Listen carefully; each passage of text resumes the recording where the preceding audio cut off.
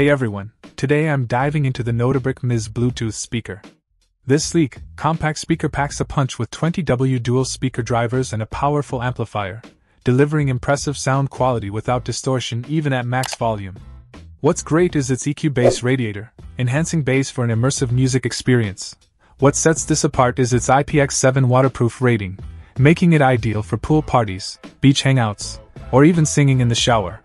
Its Bluetooth 5.0 chip ensures stable and quick pairing with any Bluetooth enabled device, and you can even pair two of these for a true surround sound setup. The design is elegant and ultra portable, fitting comfortably in one hand, perfect for both indoor and outdoor use.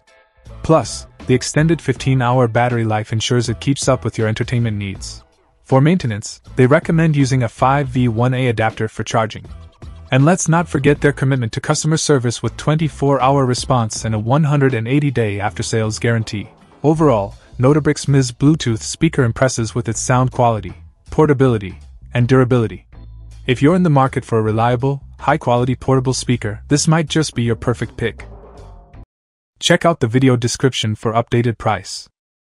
And thank you for watching this video.